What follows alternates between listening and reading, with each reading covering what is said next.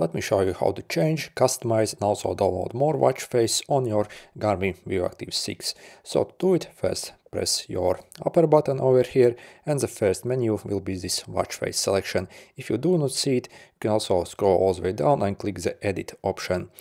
Okay, let's click this over here and by default there will be only one or two watch face. So, uh, so basically what you do is scroll all the way down so I already have added quite a lot of watch faces. So simply swipe all the way down till you get uh, to this where you can add new. And then we can select uh, from the watch face that actually are pre-installed basically on this watch. So if you want to select some watch face, add basically to the main list, simply click on it and you see you have a new watch face installed. And if you want to customize basically how your watch face looks like, again, let's go back, select which uh, watch face you want to customize from, from this list essentially, and then swipe from the right side essentially. We can click uh, data over here, so we can change basically which stuff basically we have in these fields, as you can see. So if we go back, also we can click uh, this accent color and basically change how the colors basically or the watch face will look like. So you can customize pretty much, yeah, any way you want. We can click apply and we have the new watch face.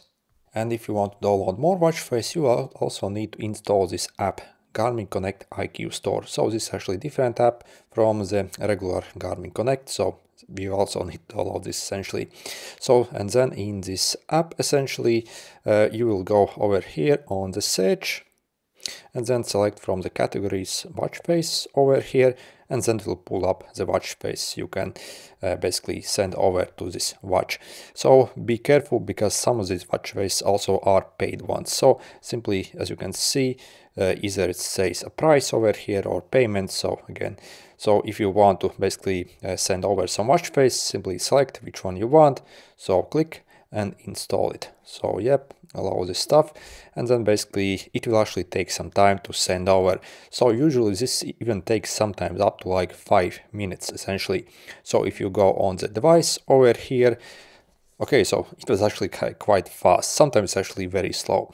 So as you see basically over here in the device, if I click my watch face, I can see my watch face that I have downloaded uh, from the store basically. So and if we check or uh, watch now, as you see, we actually have a brand new watch face. And again, we can customize this watch face as well in the same way, basically I showed you previously. Anyway, good luck.